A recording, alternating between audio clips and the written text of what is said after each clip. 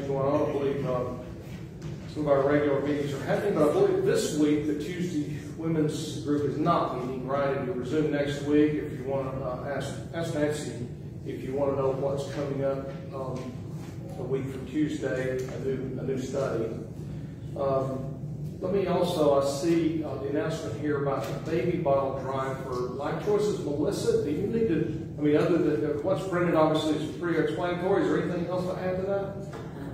She's going to have the bottles ready for us tomorrow, to pick them up, and we'll have them here next time.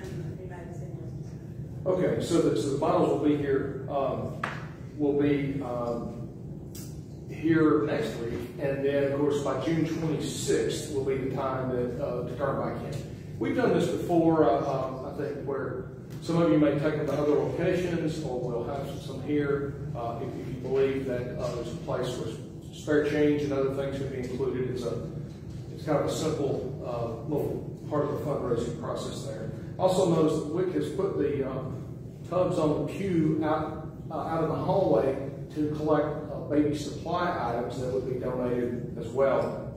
And uh, there's some things in there, but uh, keep that in mind uh, as maybe you're out shopping and want to pick up some things to include in there. Um, that goes, they have, uh, I suppose, uh, called a little store. I, mean, I don't know if it's that's the best word, uh, but there's ways for them to receive and earn many of the people different ways. Some of the, the benefits of some of those products that are available. And um, so that's um, one of the ways that we can uh, support the uh, young women, uh, men uh, who may be involved in some of the uh, instructional and supportive work there. Let me just mention just a couple of things. Continue to pray. I know Steve would appreciate you praying for Brother Paul. Um, that's, we've been praying for him for a long time. The Lord has blessed for a long time. But recently he's been having more symptoms. And if we know more about that soon, I think if he has some tests, we'll share that. But he just, just doesn't feel great and doesn't have a lot of energy. And not sure if it's medicine related or illness related and all that, but he would appreciate that. Also, uh, continuing, we give thanks. I think Kent is um, responded very well. Uh, been been very energetic the last few days. Got to go to school this week some and um, all that. So, and I know one thing. He, he was he was uh, he brightened our day when he came in yesterday, did the thing, and uh, he certainly let Brooke know he's proud of her to get old strong hug. And and as well as uh, uh, others in the room. So it, it certainly uh, was wonderful to see him feeling well. And uh, so, uh, Dwayne Cecil, keep praying for him. Um, rehab from the uh, heart attack and the, and the surgery that he had. And of course, Ruth, um, Ronnie sent me a message yesterday. I think he's been having family drop by to keep him company, do things. I think it's wearing him out, maybe. I don't know. Uh, he said, I was just, I miss Ruth. He's looking forward to her being back. So um, she does plan to come here in a few weeks, um, maybe about two weeks, to be back. Um, but we're praying for her son to be, um, come to a place where he can receive a, a liver transplant, essentially. It's a significant prayer request um, and, and great need there. So um, keep praying for that. With that, let's just take uh, a second uh, to prepare our hearts for work. One thing that's not showing up in uh, the order of service this morning, our special music that will follow right behind the um, second hymn, the middle hymn there, is uh, Lily to share with us. It is well with my soul here just a, just a little bit. So we thank you, Lily, for your willingness to do that today. Let's take a second to prepare our hearts for worship.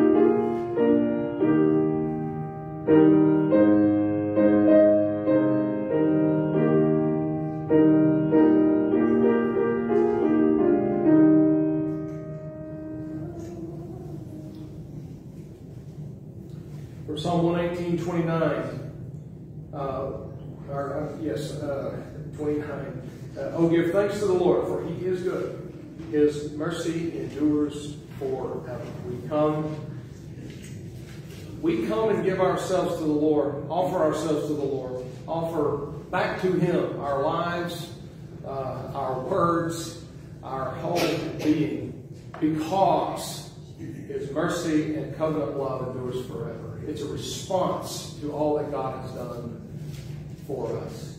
So today, let's gather and worship Him in spirit and truth for all that He's done for us. Let's uh, turn to Hymn 2 in, in the front of the hymnal and sing to and of our great King. Oh, worship the King, all glorious above.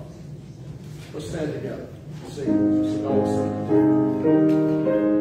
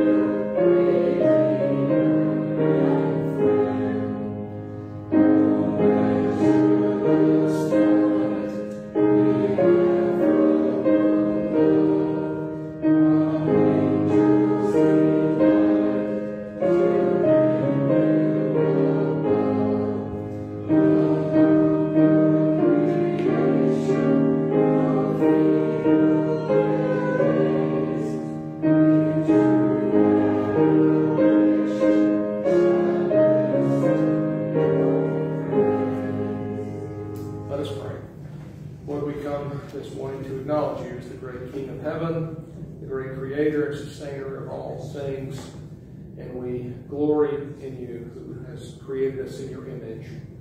We come also to confess that uh, we recognize that we have sinned and we have um, fallen. And uh, we would pray that you uh, remind us today of our restoration in Jesus Christ, who came to rescue us, to lift us up out of the effects, the guilt, the consequence of the sin uh, that we have enacted uh, that has had power over us. And we would pray that you renew us in that today. Our hearts will be renewed and strengthened in Christ. We will know that we have met with the living and true God this day, and our hearts have been uh, encouraged in Him who loved us and gave Himself for us. Accept our worship and enable us by the Holy Spirit today to, as we open our mouths to praise you and to profess our faith, and as we bow our heads in prayer, that everything we do will be fitting and appropriate to our great King and Sovereign Lord. We lift all this up and pray in Jesus' name. Amen. In the back of the hymnal, page nine, uh, 872, there are a couple of catechism questions that I want to use as our confession of faith. And by a couple, I mean four.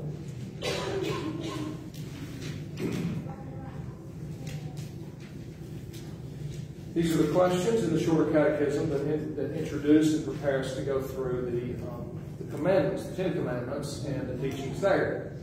And so, uh, verse or uh, question 39 is where we'll start. with the do 39, 40, 41, 42. Okay? These are the preparatory questions before the content of the commandments are covered through the catechism. Um, perhaps you'll see a little later when uh, why I would choose these today. What I will do is I'll read the questions. We'll together read the answers. And so doing, we will be confessing our faith together. So let us do that. What is the duty which God requireth of man? The duty which God requireth of man is obedience to his revealed will. What did God at first reveal to man for the rule of his obedience? The rule which God at first revealed to man for his obedience was the moral law. Wherein is the moral law summarily comprehended? The moral law is summarily comprehended in the Ten Commandments. What is the sum of the Ten Commandments? The sum of the Ten Commandments is to love the Lord your God with all our heart, with all our soul, with all our strength, and with all our mind, and our neighbor as ourselves. Amen. Please be seated. Um,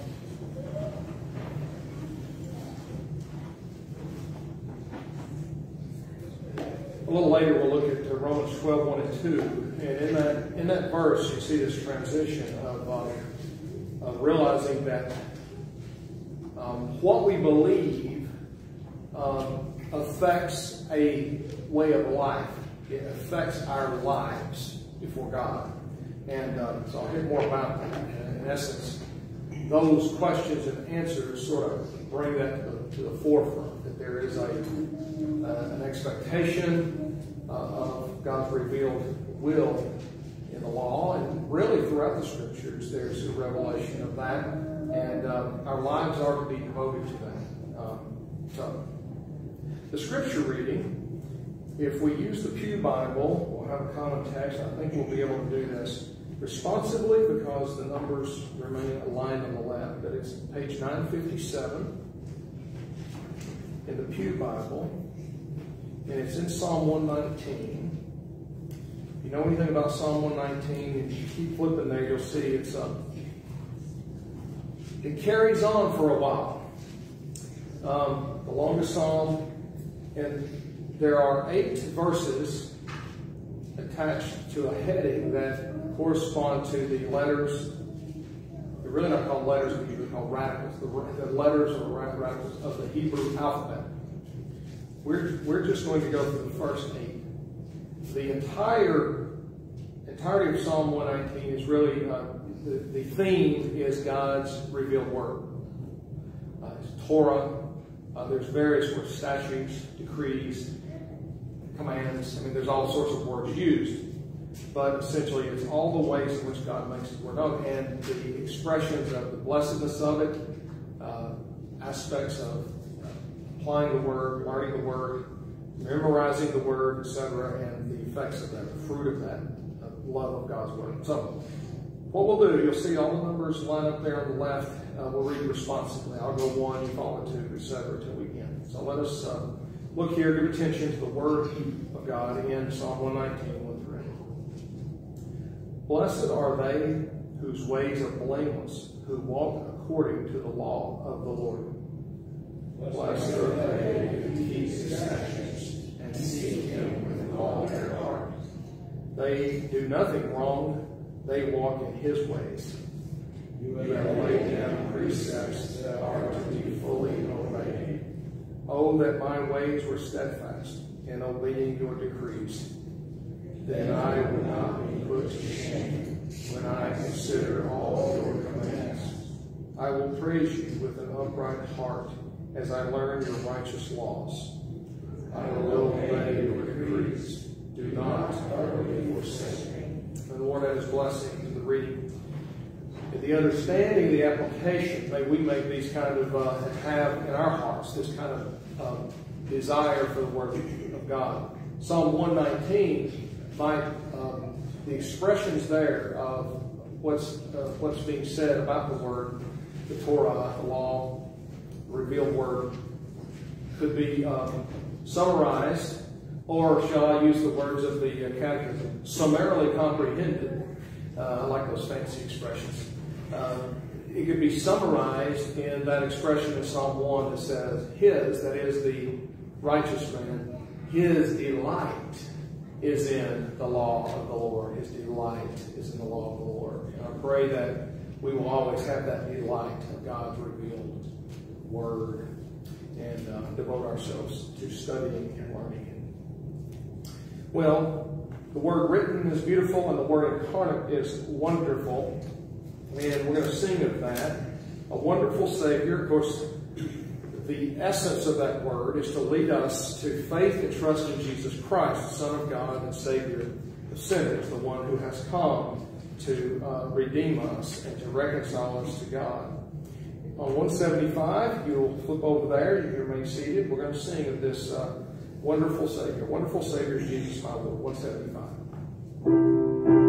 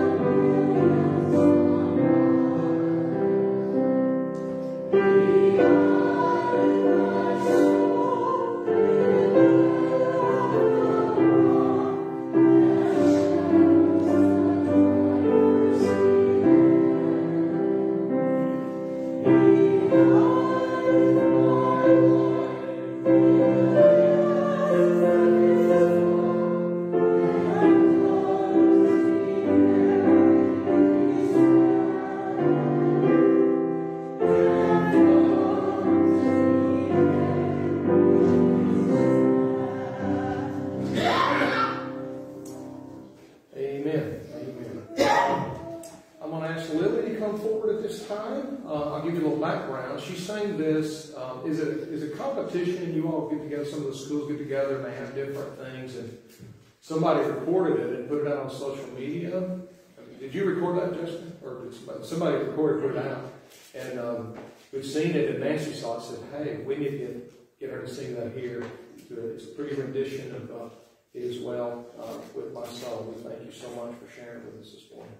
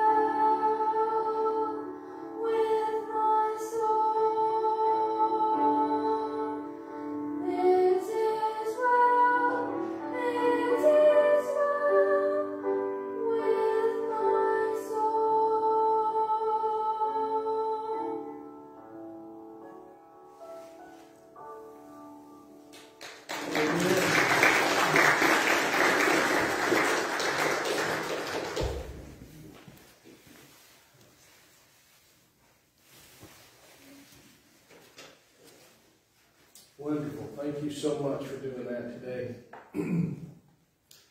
um, let us uh, turn to the Lord in prayer, lifting up our lifting up our uh, concerns to Him. Lord, we uh, we thank you. Um, we thank you for the ways in which you watch over us. That in Christ uh, we may echo those words. It is well with our soul. We pray that that will, in fact, be the experience our hearts. we will feel the confidence and the love and the assurance of your great care over us at all times. Especially when life hurts, when it's hard, when it's disappointing, when it's scary. We would pray that you come along and take hold of us and lift us up in your care. We have members of the church and people we care about who we are praying for at this time, and we would ask that you especially watch over them.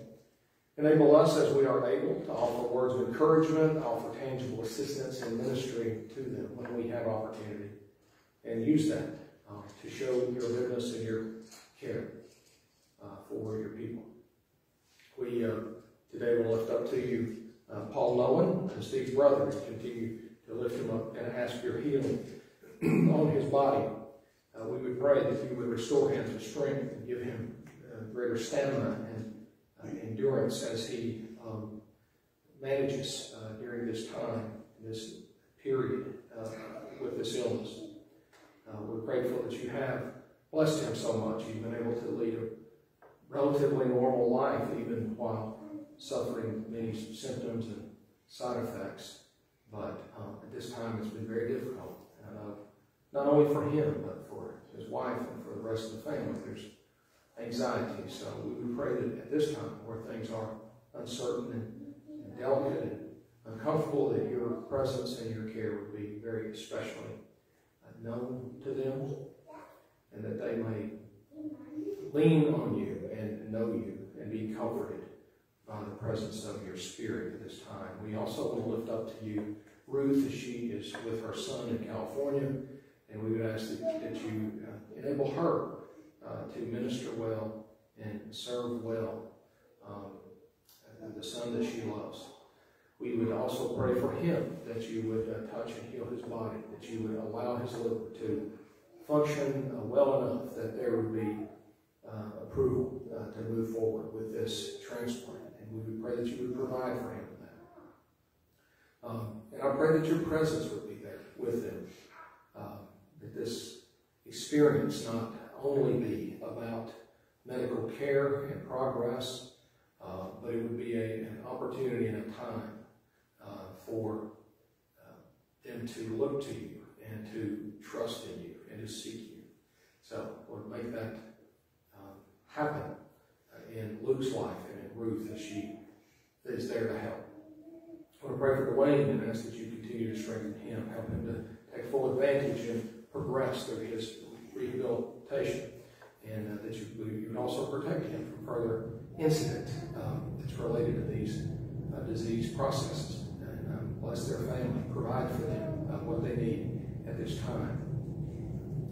Um, we also we give praise and thanks to you for the ways in which you have worked and brought about um, uh, through your abiding care as the Good Shepherd. You have uh, seen us through, and we especially praise you for how uh, Kent has bounced back from his illness and, and uh, dealing with those seizures again. We pray that you'll sustain him and keep him and uh, help uh, Donna Russell and, and, others as they support him in this. And uh, we, we, but we give thanks that you saw him through some really scary things, and you have uh, seen him through this uh, to this point where he seems to be much better and, energetic, and uh, we love to see that. So we lift these things up to you. We have many others. We have constant concerns. We have we know people, or our families, or we ourselves are still grieving uh, loss of loved ones. We um, we need you in those situations. We need you to come to us and bring comfort. We need you to be with those people who hurt um, and feel that deep sense of loss losing their loved ones. And we pray that you care for them as well.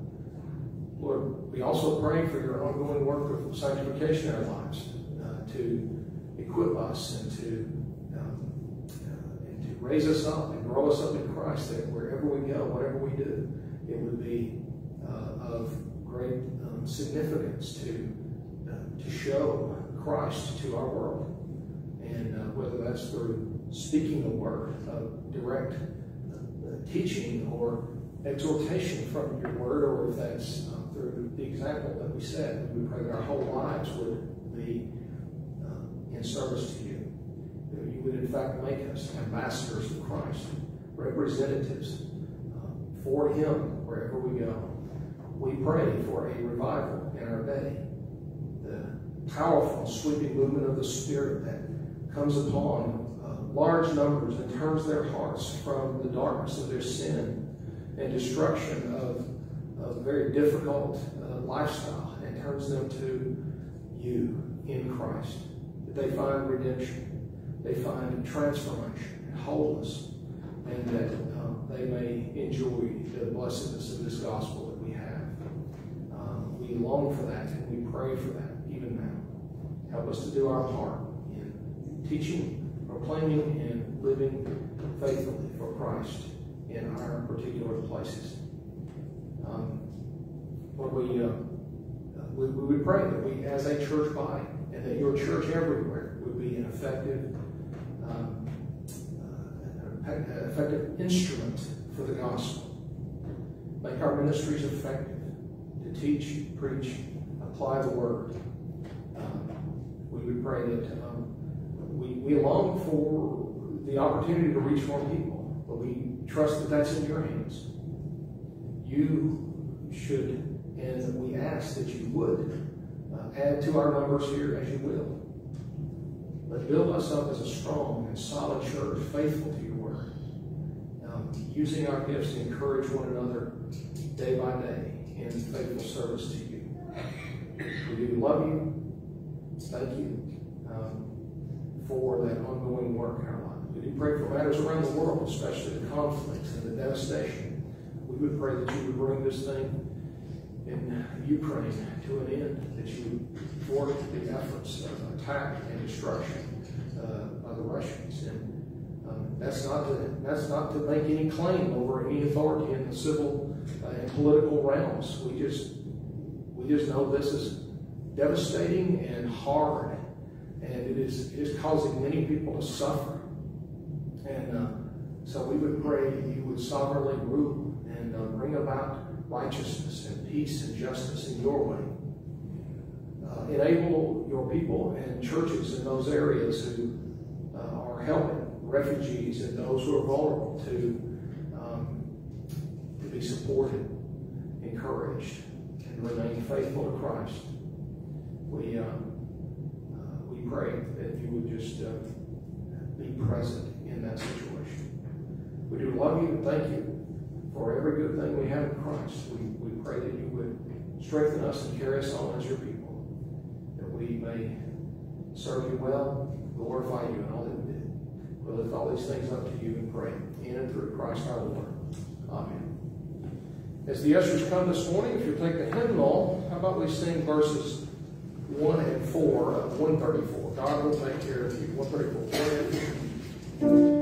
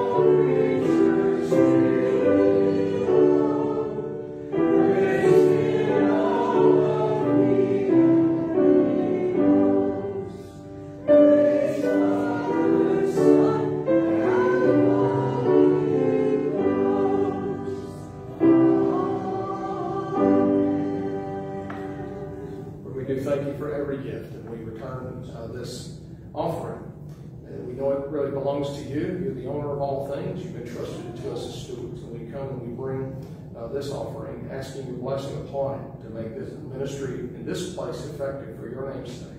And that we would do our part to contribute to the Great Commission ministry throughout the world. We come and make our offering in prayer in Jesus' name. He taught his disciples to pray, saying, Our Father, who art in heaven, hallowed be thy name. Thy kingdom come, thy will be done, on earth as it is in heaven. Give us this day our daily bread, and forgive us our debts, as we forgive our debtors.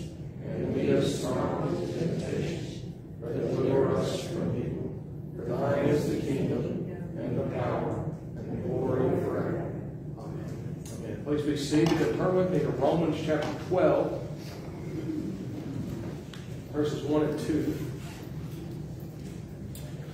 Over several weeks, I've gone through um, those aspects of what we call atonement, realizing that there's a, a number of different uh, angles or perspectives in Scripture that, that highlight the, uh, the depth and the breadth of what Christ accomplished that we often summarize in this word atonement. In fact, there's several things. There's there's the um, that it was sacrificed. It had, had something to do with sacrifice and the shedding of blood in sacrifice. There was a redemption that is a purchase to release from bondage. Uh, there was uh, reconciliation that is to bring two parties uh, that are at enmity together. Um, there was uh, propitiation, that idea of something that renders something propitious. That really settles it, doesn't it? Um, uh, what does that mean? It means to fully satisfy the wrath. Uh, we believe what Christ did wasn't just to cover or put aside sin, but it actually fully satisfied all that it deserved. And then, of course, there was the uh, idea of uh, covenant that we looked at as well. And then, of course, last week looked at, um, with it being Mother's Day, all that. However, I sort of began to I've had some ideas through the year of where we were, what we might look at and study, and uh, it struck me as we were coming out of that. I thought, I believe turning to something uh, kind of practical may be a nice change. Well, this is more of a transitional sermon, trying to show to you, uh, as somebody on the seminary once said, say, why do we call that department over there practical theology? All theology is practical. In other words, you know, they they don't even claim some exclusive thing. Now, there's a, I think they've now changed it. They don't call it practical theology. They call it pastoral theology. You know, the things that you do in ministry as you apply uh, the scriptures and the teachings of scripture. Uh, but uh, maybe that's because the systematic theologians fussed long enough to get them to change that. And it is true, though. They're right. It may not readily be apparent but all theology is practical, meaning it has application in the lives of men and women and in the lives of, of, of God's people. Okay, so what, where am I going with this? We'll, we'll get there. Let me, let me uh, before I take off, let me, we'll start at the text. I'm going to read these two verses here, Romans 12, the first two verses, and then we'll uh, we'll take a look and see what is being said here. Give attention. Word of the Lord, Romans 12, 1 and 2. Therefore, I urge you, brothers, in view of God's mercy, to offer your bodies as living sacrifices, holy and pleasing to God.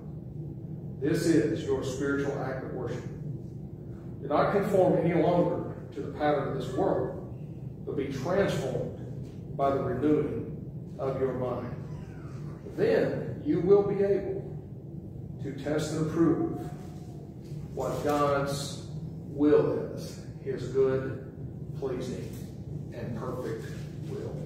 And the Lord has blessed us reading, the understanding application of this portion of his word. So, all theology is practical.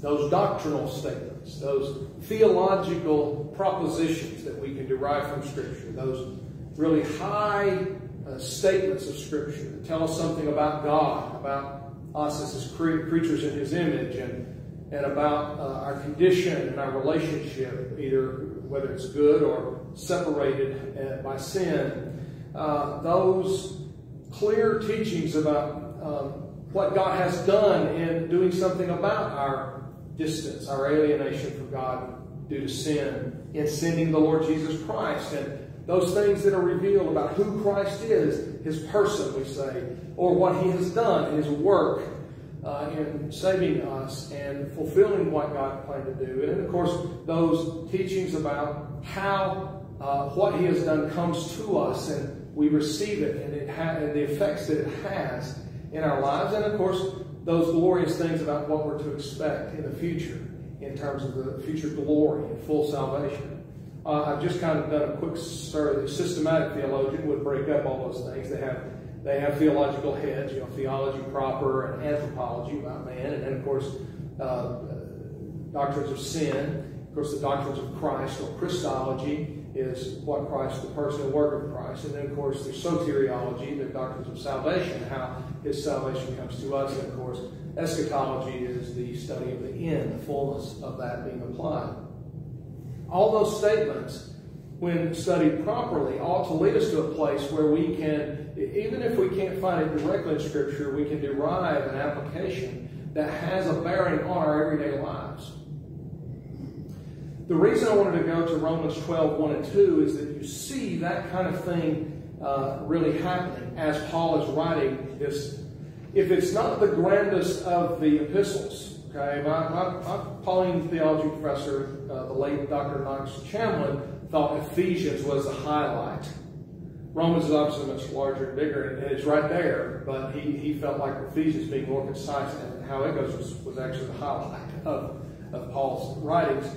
But that Romans clearly, its length, its, its depth, and, and all the things is a, is a, is a significant uh, writing uh, for him they all have their significance, and have, but, but because of its length and its significance, obviously going to the Roman Christians in the, the great capital of, of, the Roman Empire and that sort of thing would have would have had a significance with it. And so we're in this very uh, marvelous epistle of the great uh, Apostle Paul writing to these Christians, and we get in chapter 12, and it starts with this. Therefore, okay, there, why why would anything start with therefore? It's because um, there's something that came before it that we needed to have, have in mind before we move forward. But then it's also, therefore, this, then, and, and then you have to look forward. So there's a transition right here. Here's a hinge. There's something hanging and swinging on this side, there's something swinging on this side that we have to look at. And really, in, the, in this verse, you see uh, something of the because of these things that I've already told you about who God is, what He has done, and what he has done in Christ Jesus. And here's how you ought to live. Really, all Paul's epistles operate this way. Um, also, the late Dr. Knox Chamblin said, "This first, first part of Paul's epistles are declarative. He's telling you, he's just declaring who God is and what He's done in Christ. And then there's a one where it changes now, as a result of that, here's how you are to live. Here are the things you're to devote yourselves to. And in Romans, interestingly enough, there are some hortatory, that's what he referred to those things, um, command, exhortation, hortatory sections. Uh, there are some things prior to this, but this is where it's very clear. Therefore, therefore, and he's saying, he's told all these things. For 11 chapters in Romans, God has been continue, uh, through Paul has been saying, here's what I have done for you. Here's how I am responding to the problem of sin and the separation of my creatures from me. God, through Paul, Paul's obviously writing about how God has done that. So, get to this place, we look back. Now, why, why am I saying that? Okay, for several weeks, I just over and over again came in here and gave you a sermon about some aspect and try to highlight the significance, the breadth, the various ways that Christ's death, and it's not always death, his death was central, you know, the resurrection was related to it and, and part of it as well. How this atonement, these declarative, proclaimed truths of Scripture about what Christ has done. Now, let's reflect on those things and see if it doesn't lead us into things we need to think about about leading our lives faithfully before God. Throughout the scriptures, even the, declared doctrinal truths have an application in our lives of how we live. So, yes, all theology is practical. Sometimes you have to dig in and study to figure out what is. By the way, the Ten Commandments. Ten Commandments did not start. I mean, the commandments did. But that's not the first thing God said. The commandments follow a preamble in which He says, I am the Lord your God who brought you out of Egypt, out of the land of slavery. See that? Here's what I have done for you. Now, here's what you're to devote yourselves to.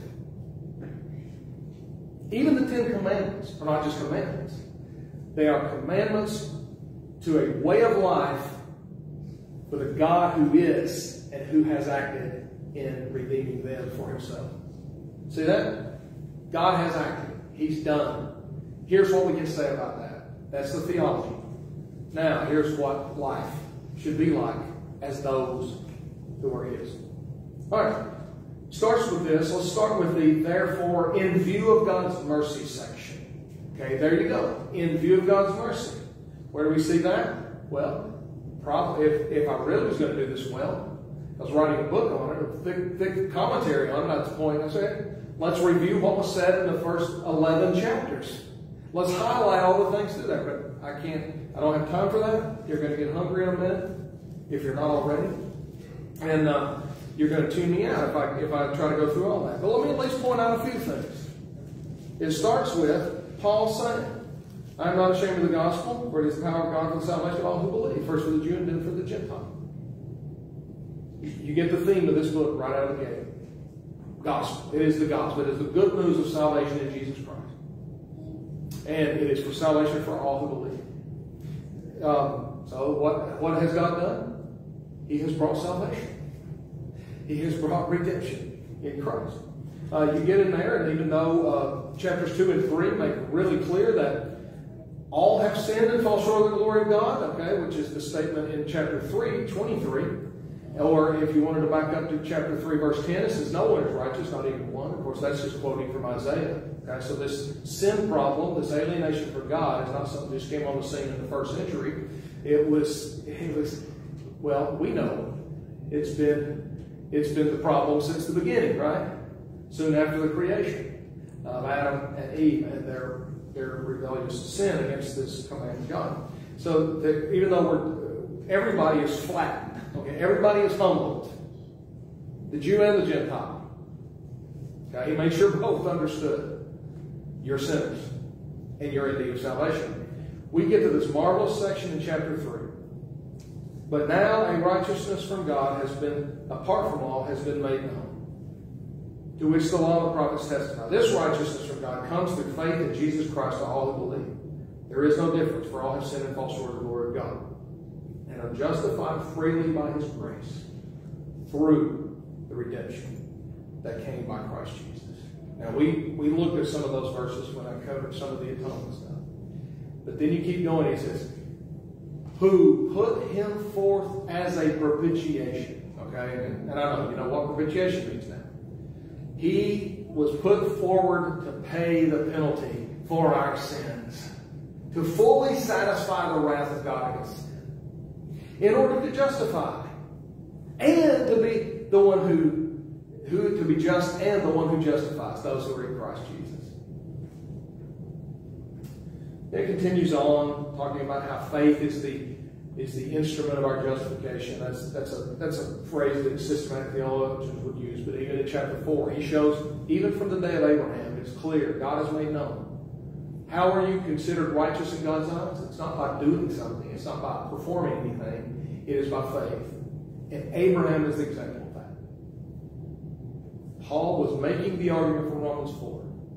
Faith is the mechanism of salvation. It's the thing that gets us in which we receive it. And Abraham was the example of that throughout the scriptures.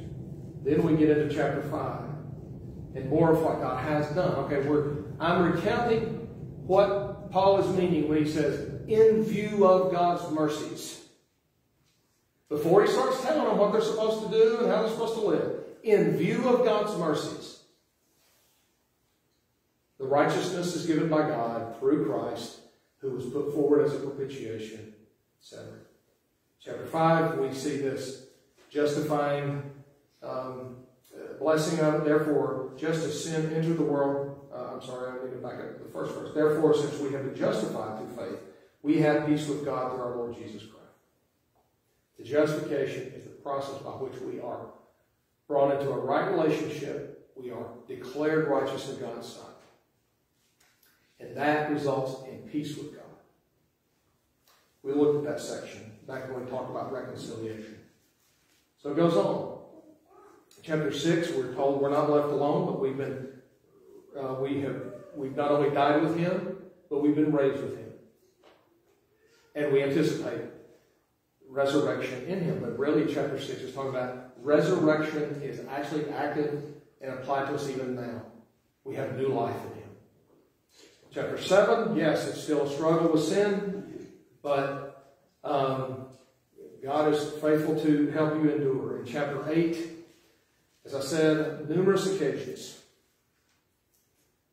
you're not going to find anything more um, affirming and uh, helpful in gaining confidence and assurance than Romans 8. There's many other places to find stuff like that, but Romans 8 is not going to surpass Romans 8, which ends, which ends with nothing in all creation will be able to separate us from the love of God that is in Christ Jesus our Lord. It's who God is. It's what he's done in Christ. And Paul spends all this time affirming it. Now, chapter 9, 10, and 11, there's some pretty complex and deep stuff about how it relates to God's uh, calling of Israel, how that relates, what's going on there, etc. But nevertheless, what is in view there is a glorious grace and mercy that is still evident, that is now extended to the Gentiles, but is still there and still relevant for Israel, for those descendants of Abraham. Then we get to chapter 12. In other words, 11 chapters of Paul telling them of the sovereign creator God of heaven who made us in his image and we rebelled and sinned, all that he's done to take care of that and to bring us redemption and salvation in Christ. That's what he means by in view of God's mercies. In view, in view of God's mercy. A lot of theology. The systematic theology books have countless citations from Romans 1 through 11 to say, here's what the Bible reveals about what God has done for you. In view of what God has done for you, then our duty, our obedience, our life of commitment to, to, to God through Christ, enabled by the Holy Spirit, is rounded in all that He has done for us. Then it says what? Offer your bodies as living sacrifices, holy and pleasing to God. See that? In view of what He's done, give yourself to Him. That's, that's really the essence of this. Okay? Don't don't separate. I, I may make a link available to you or, or provide it um, so that you can go back and listen to the one in 2018 um, sermon. Uh, what uh, living sacrifices look like, and uh, so I'll do that and, and, give you a little more. But the uh, the uh, it's not it's not simply uh, referring to the body here is referred not just simply to the physical body and actions, but it's, it's really a way of saying your, your whole self. Give yourself to Him, and giving yourself to Him will result not only in things you think and feel and the motives of your heart, but it will result in you con- conducting your life in a certain way. So the so the body's going to be active and carrying that out. That's where it's going um, with that. God has done all this for you. Now you give yourself to Him. Offer your bodies a living sacrifice. Okay? In that sermon for 2018, I make the distinction. This is a living sacrifice. In living, in carrying out a life devoted to God, in contrast to what? The old dead sacrifice, the, the killing of an animal, the shedding of blood. Uh, two different things. We're called to a living sacrifice, like lives devoted to God. In Christ, enabled and equipped and guided by the Holy Spirit based on what he's done. Now, also, uh, uh, something you would uh, probably see in all of Paul's epistles, as he moves into those sections where he's teaching us how to live and what to do, many of them we could identify with the commandments of the Old Testament or other, other um, uh, you know, moral teachings and such. But what will happen is, uh, in this one in particular, probably the rest, the rest of the um, epistle here is really giving us details of how we're to do this. In the sermon in 2018, I just looked, I went down to verse 9 and read what was there for several verses and showed you how that section gave us some details of how to offer ourselves as living sacrifices. But it's not just 9 through whatever, 9 through 21 that does it. It's the rest of the epistle. He, he lays before us the principle, the broad teaching, in view of all that God's done for you in Christ, sending Him to be your Savior, justifying you, reconciling you to Himself in Christ, offer your body as a living sacrifice. Okay, what does that mean? He gives us several chapters of specific instructions of how that's supposed to go. Submission to authorities in chapter 13. When I prayed the other week, and I'll reiterate this. I believe it to be true, although some of you may have to rebuke me if I if you hear me fussing and complaining about the government and all this sort of thing. Um, we're, never, we're, never, we're never given uh, an instruction or a right in the scriptures to fuss and complain and condemn the governing authorities. Now, I'm not saying it's, you know, I mean, you know, it's, it's not that there's not an appropriate time to assess and, and discuss and to identify the ways in which those things may be wrong. However, instead of instead of calling us to a place of you know complaint and such, we're always told to submit, be good citizens. So every part of our lives, whether it's religious or whether it's entirely un- unreligious, and just the way we go about our lives in the society, we are exemplary citizens. Submit to the authorities, chapter 13. And also, we're told to pray for them. Those are the two things that are most in the forefront when it's talking about that. You, you know, one of the first things somebody say, yeah, but I don't, I don't think Paul understood what life would be like. How the government and all the people in authority now just disregard our Christian truth and they just, you know, they don't believe anything the Bible says anymore. And like, do you understand which government was in charge when they wrote these things? The Roman Empire, those Caesars, who themselves were viewed and understood themselves to be divine, who demanded at least cursory or uh, you know incense to be burned to them. And many of our brothers and sisters in Christ were put to death because they refused to do that in those days. And some of them were deranged and crazy and, and put many Christians to death. Nero and, and uh, and some of those. They understood. They were they, they, they, didn't, they weren't naive. So I always say that. to point out that I believe obviously we have there's this temptation and pull for Christians. When we see widely unbiblical, uh, disregard for biblical truth, a, a, movement in there is to, is to want to you know, first get angry. Okay, there's a righteous indignation that's appropriate. But is our response to that? Um, are we just going to start more arguments? Are we going to get in our holy huddles and fuss and complain?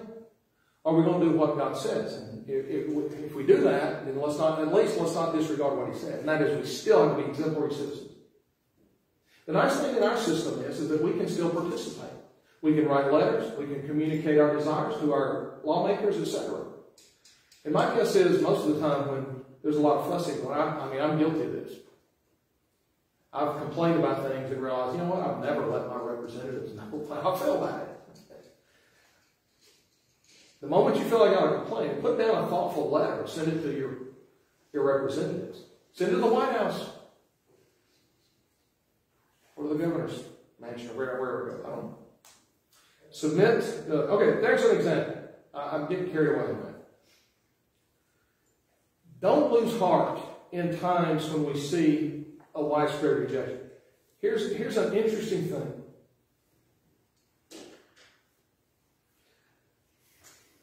I know I would rather see, I would rather see the gospel gradually take hold and widely just spread and take, you know, change hearts and the society as a whole. And I'm, I'm praying for that. I don't know if you picked up on that for a few years. Every pastoral prayer, praying for the Holy Spirit to move in a great awakening and a revival in our day. I'm predominantly wanting to see to see lives redeemed from the destructive things that they're suffering from. It is heartbreaking to see families and wives and kids having to live in the mess that they're in.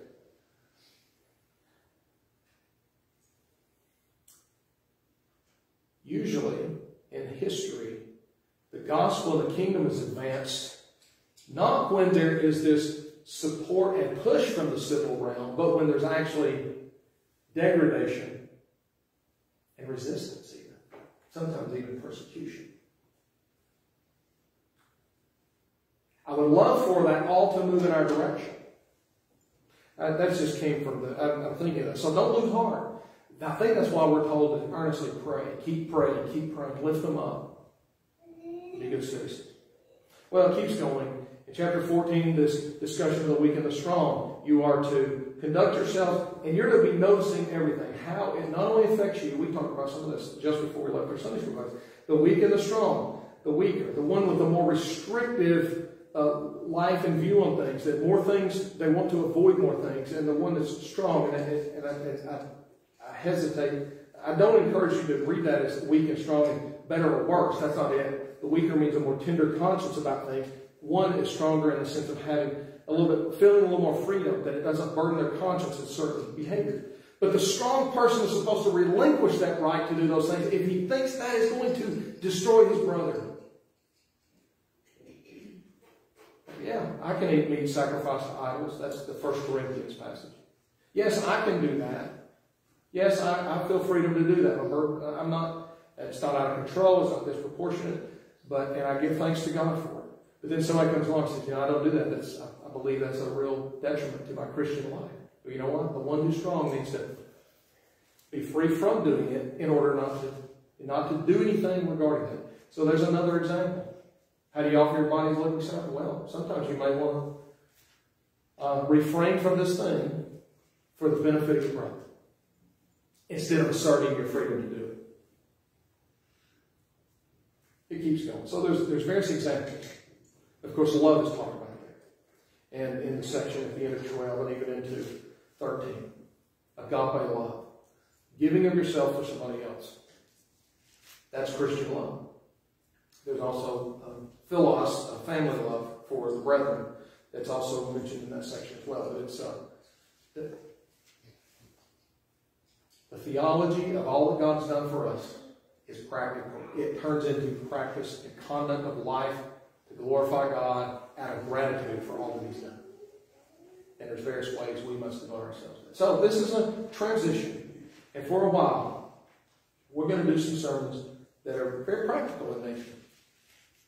But as we talk about the practice, how we're to do things, what we're to do, what we're to aim to do and accomplish and pray the Lord will help us do, in practical terms, we also want to know the reason. It's because God has done so much for us in Christ. All theology is practical. So let us offer our bodies, in view of God's mercies, offer our bodies as living sacrifices, holy and pleasing to Him. Amen. Amen. Let's uh, let's sing. Let's sing a prayer the Lord. Take my life and let it be. Consecrate the Lord to me. 585, standing together. Um, one and six. Let's stand together. One and six as we. Verse